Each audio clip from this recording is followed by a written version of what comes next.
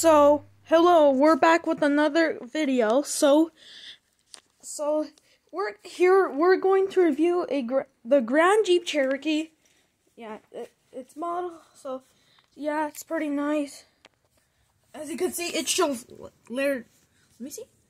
Uh, Laredo. Interesting.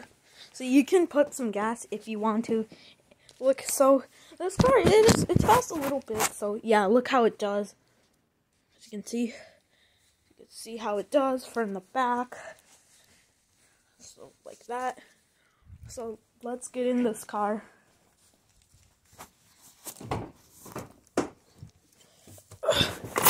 So this is the same thing. So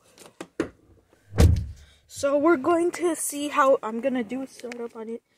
So so we're going to do a startup on it. So, yeah. So here we go.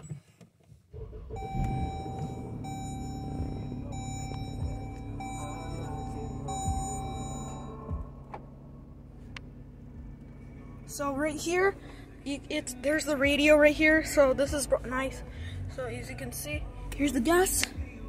Yeah, you, I don't. You can't. It's really dark, so you can't really see the gas. So yeah. So this is nice, so let's stop it. So yeah, as you can see, as you can see, it has no it has garage door buttons. Same with the Toyota too.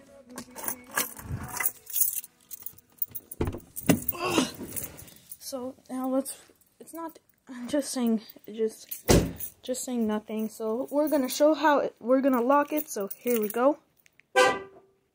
So let's unlock it too really, really nice. So that's all for now. Hope you enjoyed. Peace out. This is the keys, what it looks like. So, hope you like the video. Peace out.